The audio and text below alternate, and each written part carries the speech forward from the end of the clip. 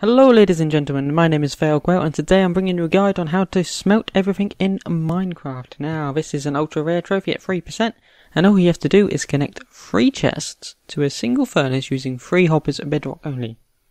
So I'm going to show you how to do this right now. So what you need is one furnace, 3 hoppers, 3 chests and know how to crouch and connect hoppers to chests and furnaces. So you want to pop your chest down, pop a hopper on top of that, crouch, and then pop the furnace on top of the hopper, and then crouch and jump again, and pop that onto there, and then pop the other hopper onto this side, and then pop the chests on top of the hoppers. And there you go, you've built it. It's pretty much easy like that. Pretty much just jump on the chest, crouch the entire time, and then connect everything together. Now I'm going to show you a quick way of using it.